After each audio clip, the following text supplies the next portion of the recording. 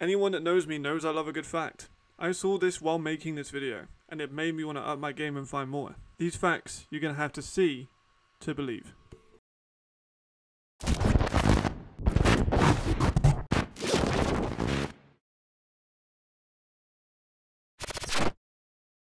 I don't think it's a controversial opinion to say that Madre London is the best running back we've ever had in the ELF. The MVP wasn't in the league for long, but what he did in 2021 was special. He averaged 7.47 yards on his way to the first and currently only 2,000 yard ELF season.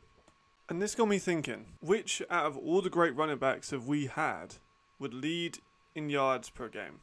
Here's a chart of the top 25 players in ELF history for rushing yards per game. In order to qualify for this list, you would have had to have had five games played in the ELF. Glen Toonga led the way last year with an excellent season in which he got over 1,400, and for rush yards per game, just got a touch over 122. Crawford, who's been on a scorched earth media campaign, has 2,145 career yards in the ELF, with an impressive 97.5 yards per game. Anton Wiegand notably led the Vienna Vikings this season with 60.92 yards per game and also notably never fumbled. Zach Edwards is one of two QBs on this one, including Sean Shelton, the MVP from last season, 36.23 yards per game, which led all QBs. Mac, also of the Cologne Centurions, managed to get himself 78.4 in a five game stretch. And then all the way at the top, we have Madre London who had an astounding 223.22 yards per game in 2021.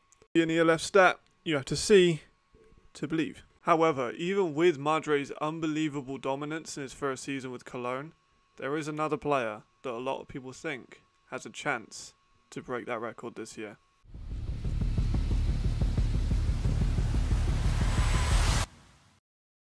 The Barcelona Dragons are well accustomed to having excellent receivers. Kyle Sweet is a Triple Crown winner, as I've mentioned hundreds of times in this channel, and Jean Constant is an Offensive Player of the Year nominee. Have you ever found yourself thinking, who has the most receiving yards in a game in Barcelona Dragons history? I have. That's why I made this graph. So here is every single 100 yard game in Barcelona Dragons history. Kyle Sweet went off last year and got 9 of them, but does not hold the record for the most in one game. Jean Constant got 7 games over his course with the Barcelona Dragons with over 100 yards, but didn't manage to crack the top 3. Flores and Pleur managed to get 1 each. Then, in week 8 against the Cologne Centurions, Remy Berthelon finished with 271 yards. That's incredible, and it's well above anyone else on this list. But you might be asking me, is that the most receiving yards in one game ever in the ELF? Here is every single performance where a wide receiver got over 100 yards in a game in ELF history. There are many names that feature frequently. Jean Constant, of course, Jordan Bua, Turpin before he got in the Cowboys, Daple Wolf. Reece Horn was outstanding for the eight games he was on the Galaxy. Marco Schneider, the Rookie of the Year.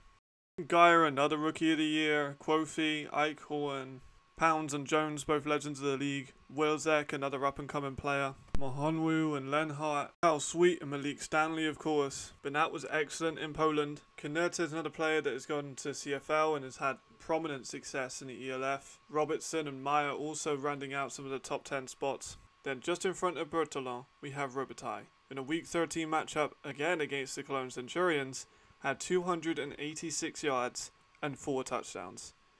Is this the best game we've ever seen for a receiver in the ELF?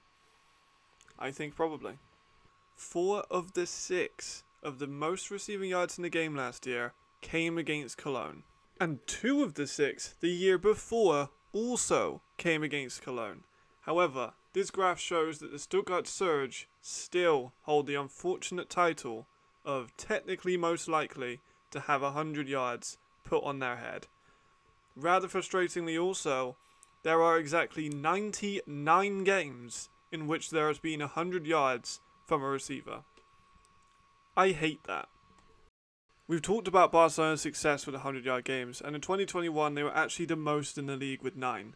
Every team did manage to get 100 yards in 2021, with at least one wide receiver. I was surprised to see the Galaxy only actually had one in the regular season, as did the Surge and the Hamburg Sea Devils. And then in 2022, everything went a little bit crazy. We saw 29 100 yard receiving games in 2021. This has more than doubled to 70 in 2022. Teams like the Raiders, the Vikings, and the Rams had more than two players get 100 yard games this season. Teams like Galaxy just had one, but this shows that the crazy diversity in this league and talent that can achieve this milestone. Myself and Jamal Clay have theorized that this is the best receivers that Europe has ever seen in a collective. We have more players coming in with NFL experience and young stars that are making their name in Europe. Of course, with receivers improving, we also have DBs improving. But there is a possibility we could have 100 separate performances of players achieving 100 receiving yards in 2023. Will we see someone break 2,000 yards? And will we see someone get over 300 yards in a single game? I guess we'll have to find out. Until next time, thank you. Goodbye.